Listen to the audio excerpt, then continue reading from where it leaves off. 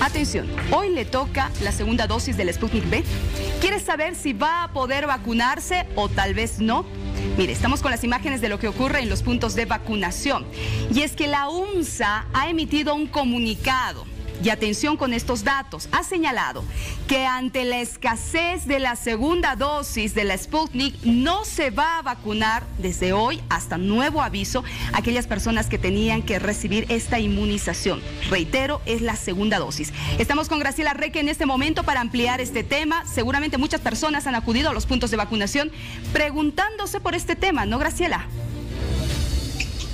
Varias, tú ves la fila que yo tengo aquí a mano derecha, pues todas estas personas les corresponde su segunda dosis, sin embargo, en, eh, no les corresponde la Sputnik. Vamos a consultar.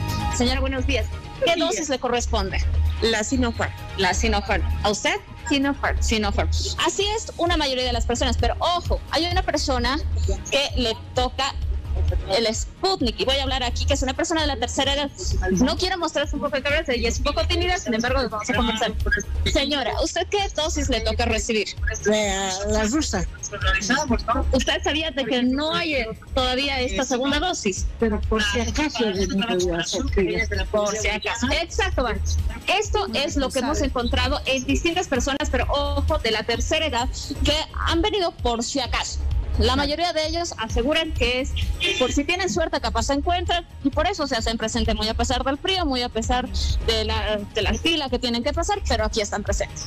Bueno, y por responsabilidad también, ¿no? Con su salud. Pero ahora la pregunta que muchos que hemos recibido esta dosis es, ¿qué vamos a hacer?